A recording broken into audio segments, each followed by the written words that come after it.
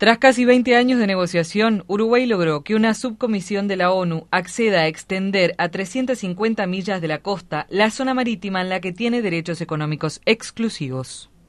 Cuando hay un estudio de un país y hay un acuerdo como el que se, como el que se ha logrado con la subcomisión, prácticamente estás asegurando, se está asegurando el resultado. La aprobación de la publicación eh, de la comisión sería en el mes de febrero del año que viene. Se pondrá Uruguay como el primer país de América en establecer el límite exterior de su plataforma continental en todo su margen marítimo de conformidad a la Convención de Derecho del Mar y eso es definitivamente una gran noticia para el país. Uno adquiere muchos derechos que tienen que ver con la explotación del subsuelo, utilización de recursos, recursos energéticos o minerales que puedan existir, pero también asume responsabilidades en cuanto a salvatajes, rescates, eh, control, vigilancia, este, impedir actos de delincuencia o de piratería y por lo tanto ya hacemos un pedido presupuestal para la Armada para atender esas, eh,